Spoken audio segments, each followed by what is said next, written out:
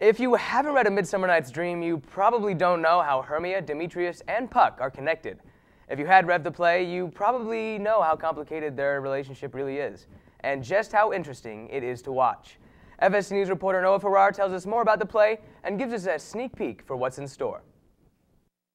Members of Foothills Thespian Club are performing a show of A Midsummer Night's Dream by William Shakespeare and had a matinee on Tuesday for all of the English classes.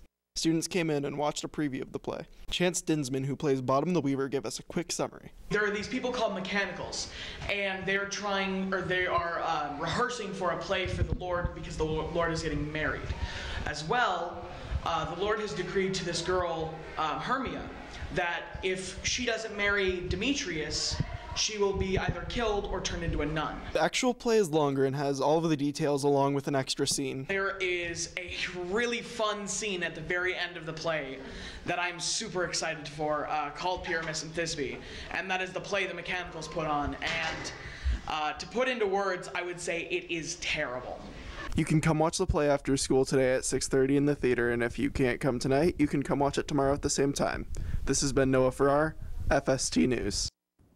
Thanks, Noah. And for anyone who wants to attend the play, student tickets are $5, adult tickets are $7, and all CCSD employees can come and watch it for free.